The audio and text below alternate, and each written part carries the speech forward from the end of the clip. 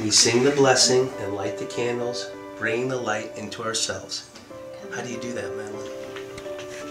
Yeah, very, very good. good. The PJ Library is actually a national program. Families who enroll, each month they get a, a, free Jewish book. It comes right to their house. The point is, is to bring Jewish values um, into the home through literacy and give parents an opportunity to read to their children and uh, learn about those Jewish values themselves or reinforce those Jewish values and pass them on to their children.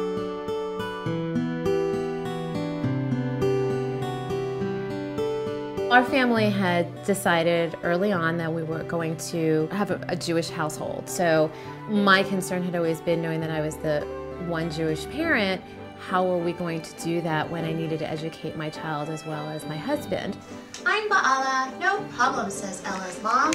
So in our community, there's actually been a lot of um, unanticipated benefits, and I think probably from the program nationally as well.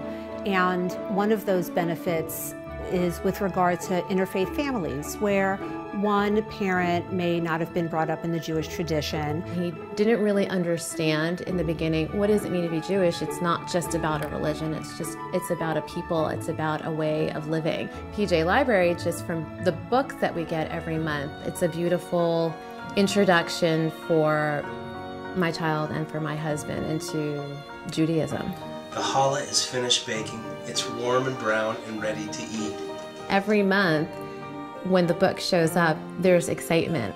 And to watch the two of them reading it together is really beautiful. For me, again, knowing that that's what I grew up with, and it, it, reinforces it for me, which is wonderful, but to see it developing in my family is, is very rewarding.